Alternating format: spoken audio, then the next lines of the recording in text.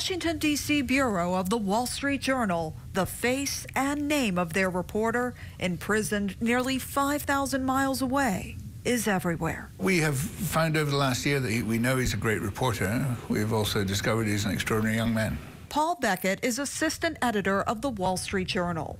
That's his official title, but his real job, since the day they learned Russia had arrested him, is getting Evan Gershkovich home. At the time, I was Washington bureau chief for the Journal, so I was the person our editor-in-chief called when he went missing. I was the one that went to the National Security Council and the State Department and the Pentagon and the White House and said, you have to pay attention to this, please.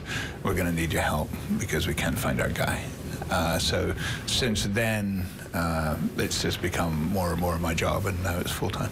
Full time work now headed into a second year. Since his arrest in March of 2023, Gershkovich has appeared in a Russian courtroom at least a dozen times. The most recent this past Tuesday, when a judge once again extended the American journalist's detention until the end of June.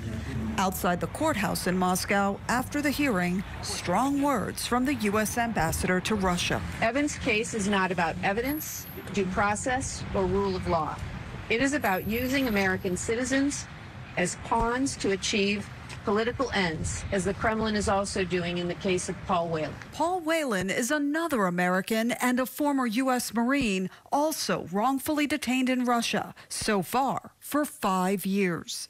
One effort to free Gershkovich and Whelan reportedly involved a complex prisoner exchange for Vadim Krasikov, a Russian security services agent convicted in Germany of a political assassination in 2021. But Germany was reportedly only willing to release Krasikov if Russian opposition leader Alexei Navalny were also included in the exchange. And Navalny's recent death appears to have stalled any such deal.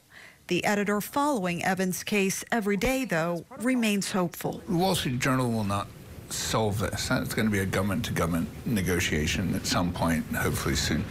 What is, I think, really important is for people to just think about Evan talk about him. And I think the more awareness we can create around that, the easier those negotiations will be when the right time comes. Until then, Gershkovich's colleagues try to support him from afar, writing messages of hope on a newsroom banner calling for his release. Police detain over 500 in Moscow. And hosting a 24 hour readathon of his stories, marking one year behind bars.